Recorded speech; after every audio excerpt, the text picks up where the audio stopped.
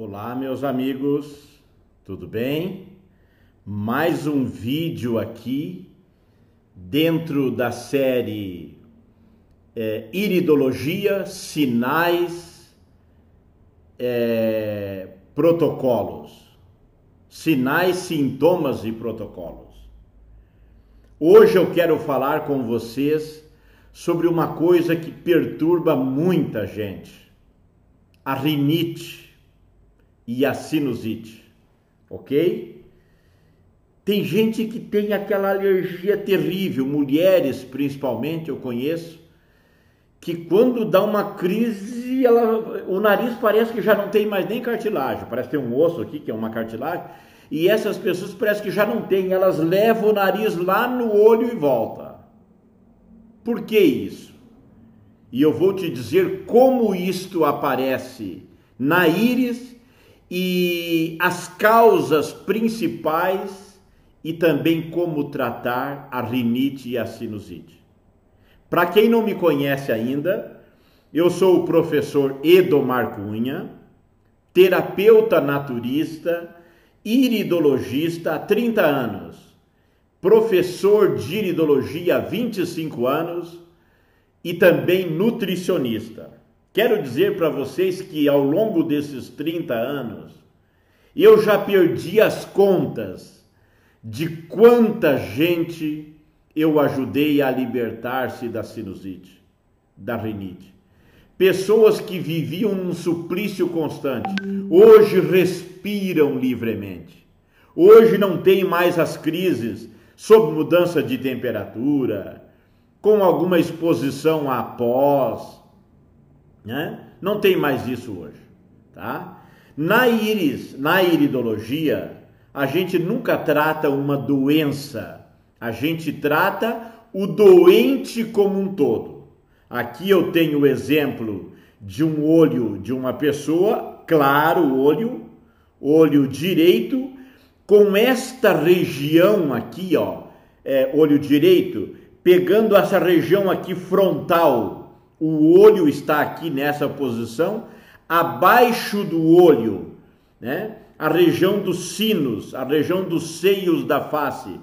Quando aparece esse amarelão, é sinal de muco, é sinal de inflamação. Esse aqui, ele tem um fundo amarelado, mas ele é mais escuro, mas ele tem um grande pigmento em direção ao olho e essa escuridão que brota do centro da íris, da zona gastrointestinal. E pode ver que esta pessoa praticamente ela não tem aquilo que nós chamamos de colarete. Ela não tem proteção ela tem uma alta permeabilidade intestinal. E esta permeabilidade faz com que ela tenha alergias, porque as toxinas do trato intestinal, as bactérias intestinais, as proteínas eh, não bem digeridas atravessam a barreira intestinal para os tecidos, para fora. E nesse caso aqui, muito para a cabeça. Então é aquela pessoa que vive zonza, com a cabeça pesada. Quando tem um resfriado, uma gripe, ela não aguenta o peso da cabeça, fica surda, ataca os olhos, a rinite, a sinusite, os ouvidos, fica tudo complicado, porque parte da onde?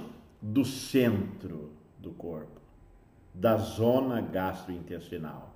Então o primeiro passo aqui seria limpar a zona gastrointestinal. Aqui eu tenho o olho de uma mulher, uma jovem mulher, moreninha, negrinha, vamos dizer, mas de olho bonito, olho claro, olho esverdeado. Só que o olho esverdeado é bonito, meu olho é verde. Só que as pessoas que têm olhos verdes já nasceram com a imunidade baixa, já nasceram vulneráveis para ites rinite, sinusite, otite, amidalite. Eu tinha muita otite quando era menino. Amigdalite, as minhas amígdalas eram hipertrofiadas, que criava aquelas placas amarelas fedidas na garganta, tá? Então, todas as ites e outras ites, inclusive a preguicite. Eu brinco que quem tem olho verde não pode ver sofá. Em regra geral, não pode ver sofá. Ele não senta, ele já vai se arriando, já vai deitando, quando vê, está deitado. Vive fungando. E esta moça aqui, quando eu a conheci alguns anos atrás, ela era uma moça que cantava num grupo musical e vivia fungando. Eu encontrava ela e eu brincava com ela sempre que eu encontrava ela. E daí? E daí? Hã? Sempre fungando, tá? Tempos atrás eu encontrei ela e daí? De lá eu vou operar. Não adianta operar. Ah, mas é o, o desvio de septo, o médico já tem que operar o nariz.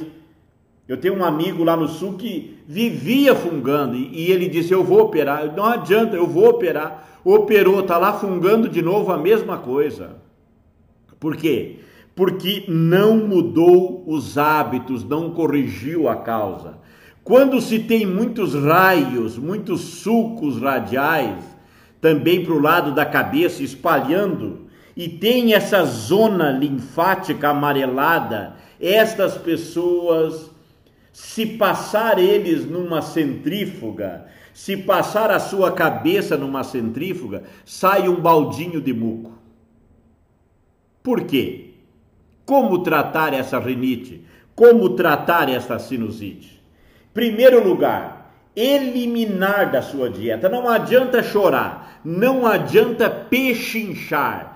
Tem que eliminar da dieta leite e derivados de leite. Você nunca vai curar uma rinite, uma sinusite, uma asma, uma bronquite enquanto usar leite e derivados. Açúcar branco e açucarados. Por que, que eu falo açucarado? Porque quando eu falo para algumas pessoas não comer açúcar branco, elas não, não como açúcar. Elas pensam que comer açúcar é comer de colher. Mas ela come no bolo, no suco, na bolacha, no refrigerante, é, no pão doce, né? Farináceos refinados. Em alguns casos extremos de alergia, eu tenho que tirar até o farináceo integral. Nada de trigo, tá? limpar os intestinos. Se a pessoa tem muitos gases, muita fermentação, né, tem intestino preso, vai gerar alergias. Se é rinite, rinite é alergia. Então a rinite precisa você cutucar as glândulas adrenais para adrenal produzir o seu, a sua cortisona natural. Cutuque as adrenais com uma mega dose de vitamina C. E agora para sinusite, a grande sacada que o professor Edomar ensina há 30 anos. E aqueles que vão atrás, que fazem o tratamento, ligam depois para contar o resultado. E eu quero saber de você, eu quero receber de você esse feedback. Favo de mel. No primeiro dia dá um trabalho. Você vai ter que procurar mel puro em favo aonde vende o favo inteiro. E aí o primeiro dia tu vai fazer mascar um bocado de favo de mel por 15 minutos. Então você vai abocanhar o quanto você puder colocar na boca, morder um favo de mel. Quando você morde, ele vai escorrer mel. Né? Tenta não engolir rápido, tenta engolir bem devagarinho e vai mascando o favo, vai mascando e vai engolindo só o mel. Bem devagarinho e vai mascando, vai mascando, vai mascando. Você vai mascar esse favo de mel por 15 minutos. Vai sobrar um titica de nada de cera. Não, não, não vai engolir. Você vai cuspir fora. Só que no primeiro dia, tu vai ter que fazer isso por seis vezes e eu vou te dizer os horários.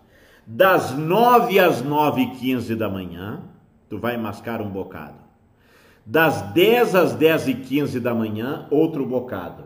Das 11 às 11 e 15, aí você para para almoçar. 3 horas da tarde recomeça. 3 às 13 e 15, 4 às 4 e 15, 5 às 5 e 15. Se você tem o, o, os cornetos nasais inchados, inflamados, se você está respirando pela boca, está tudo trancado, neste primeiro dia te desobstrui tudo, te destranca tudo. Tu já vai dormir uma noite inteira com respirando pelo nariz. Mas agora tu vai seguir a dieta e uma vez de manhã e uma de noite. Uma de manhã e uma de noite por 30 dias. Ok? Vai desobstruir. Agora, se você quiser um suplemento, não adianta só o suplemento, tem que mudar os hábitos. Mas se você quer um suplemento para te tratar e curar, procure esses dois suplementos. Omni Plus Supreme mais o Ansemix eles vêm em sachê, um sachê de cada, no mínimo duas vezes por dia, um de cada pela manhã, um de cada à tarde. Se tiver bala na agulha para um de cada à noite ainda, melhor. Faça isso por três meses e você vai voltar a sentir o cheiro das coisas. Você não vai ter mais aquele cheiro ruim no nariz, aquele cheiro ruim na boca, porque a sinusite te dá mau hálito, desce aquele muco por trás. Né? Experimente isso e depois me conte o resultado. Antes de sair desse vídeo, curte esse vídeo, dá o seu like, compartilha com seus amigos nos grupos que você tem no WhatsApp.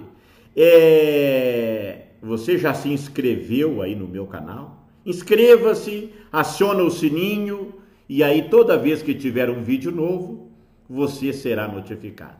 Nos encontramos no próximo vídeo.